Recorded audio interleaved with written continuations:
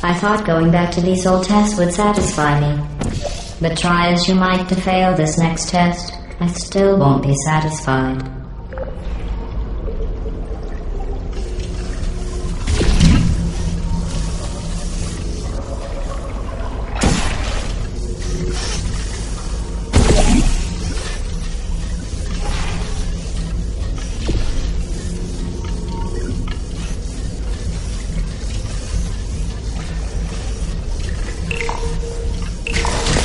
You did very well.